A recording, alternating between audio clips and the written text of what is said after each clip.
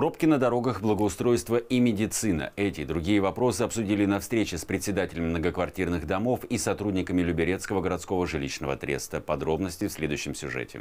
Перемены – то, что волнует людей. Название обращения губернатора Московской области Андрея Воробьева. О положительных изменениях в Люберцах говорил и глава городского округа Владимир Ружицкий. Теперь оплатить услуги ЖКХ или записаться в поликлинику можно при помощи нескольких кликов. Все это сегодня происходит в онлайн-режиме, э, не выходя из дома, э, компьютер, интернет и все эти вопросы порешать. Особое внимание уделили пробкам на Октябрьском проспекте. Трасса – артерия округа. Через нее проезжают водители как легкового, так и грузового транспорта. Из-за большого потока машин ремонтных работ на проспекте образуются пробки.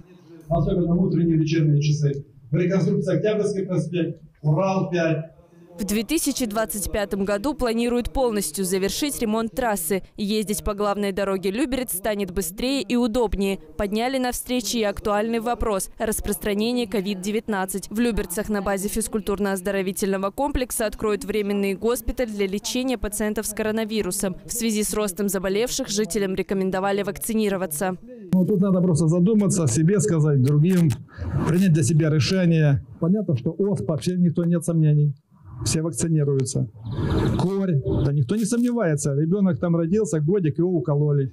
Привиться можно в поликлинических и стационарных отделениях. Пункты вакцинации работают в торговых центрах, МФЦ и клубе «Активное долголетие». Поговорили о благоустройстве округа. За последние пять лет в городском округе изменились и парки. Малаховское озеро, Наташинские пруды и Центральный парк. Теперь это излюбленные горожанами благоустроенные зоны отдыха в Люберцах. Айтат Чирагова, Денис Заугольников, телеканал ЛРТ.